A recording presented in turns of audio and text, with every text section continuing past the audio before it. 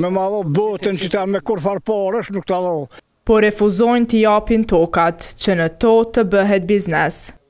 Kështu po thonë njëzet pronarë nga fshati Galicë i Vushtrrisë.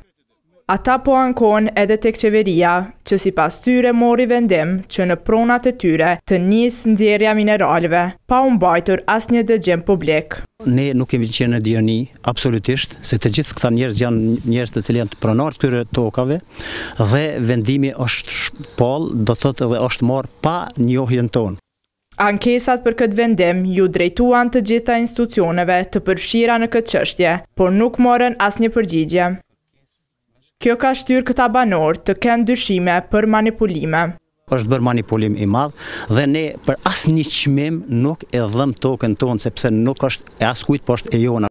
Bile ata nuk do të pranojnë shpronësim, pavarësisht premtimeve që kanë marrë.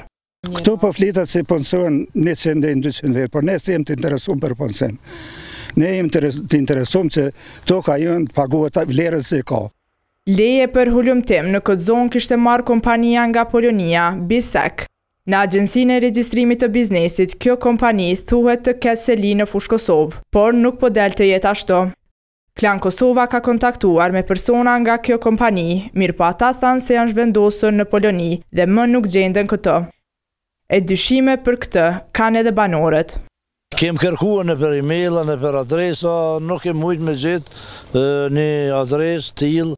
Ministri i Mjedisit, Fatmir Matoshi, përmes telefonit i tha Klanit se ky nuk është një vendim përfundimtar dhe se po presin nga Ministria e Financave që të japë vlerësim për tokat. Ai shtoi se kjo minierë është në interes nacional dhe se banorët duhet të pranojnë procesin e shpronësimit, derisa për ankesat që i kanë t'i drejtohen gjykatës.